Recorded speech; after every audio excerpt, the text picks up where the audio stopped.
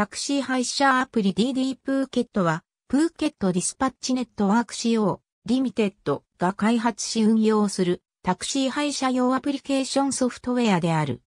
対象地域は、タイ王国プーケット県のみで、Android、iOS に対応する。もともとは、プーケットに長期滞在する日本人が現地の移動手段の不便さを不服とし、プーケット県で起業し開発した。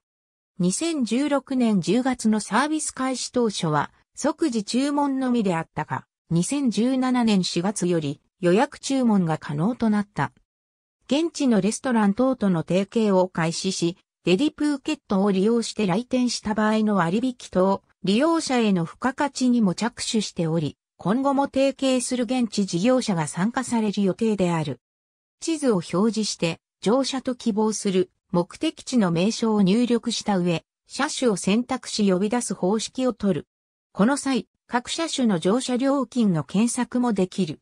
支払い方法は現金のみでカード決済等には対応していない。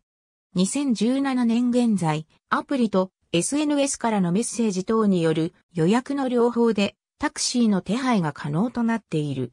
SNS メッセージによる予約では現地電話番号が必要なく、プーケット到着前の予約がしやすい。支払いが現地でドライバーへの直接支払いなので、送金等の手間がかからない。2019年現在、アプリの配信は行っていない。SNS のみでのサービスを提供している。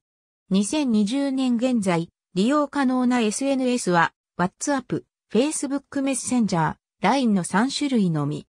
2020年11月より COVID-19 の影響により、プーケットの観光業が壊滅的な打撃を受けたため、新たにオペレーターチームによるビジネスをオンラインでの接客を主としたビジネスサポートを開始。ありがとうございます。